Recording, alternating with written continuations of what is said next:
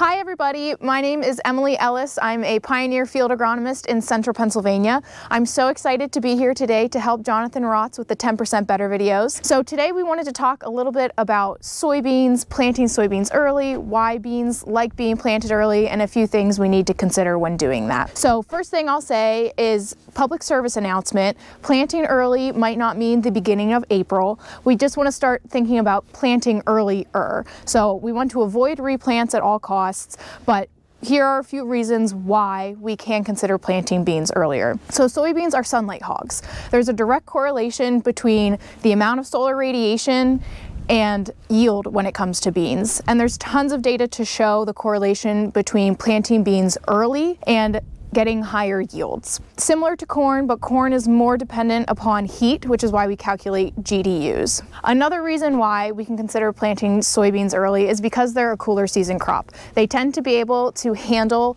that cooler temperature a bit better than corn can, which is a grass and a warmer season crop. Another reason why we can look at planting beans earlier is just the ability to have more flexibility within our stands. So we have less room for error when it comes to stand counts with corn, whereas soybeans, there's been studies done, one in particular by University of Nebraska, that shows that there's only a 1.7 bushel difference between 150,000 seeds per acre and 90,000 seeds per acre.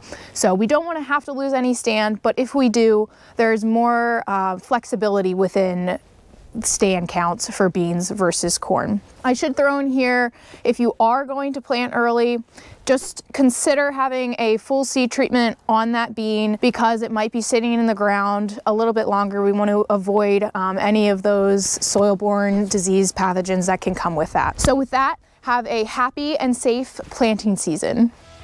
That concludes this Pioneer Agronomy video podcast.